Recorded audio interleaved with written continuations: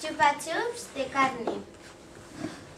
Los ingredientes son medio kilo de carne picada, media cebolla picada, perejil picado, una rebanada de pan de molde, un poco de leche, eh, un huevo, pan rallado, tomate frito, quicos y brochetas.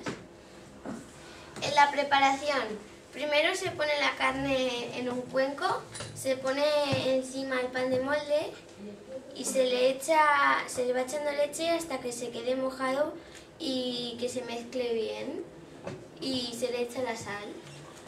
Cuando esté bien mezclado, se echa el perejil picado, la cebolla picada y el huevo y se vuelve a mezclar todo.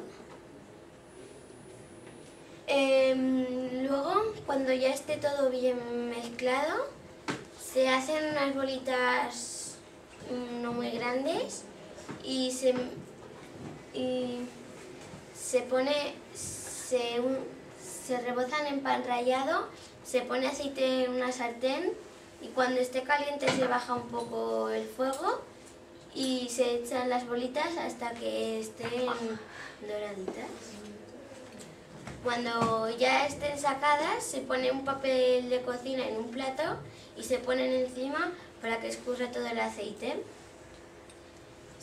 cuando estén más frías, se untan en tomate frito em, y luego se pican los quicos en la trituradora y se rebozan las bolitas con los quicos y se ponen en el plato. Y más o menos tiene que quedar así. Gracias.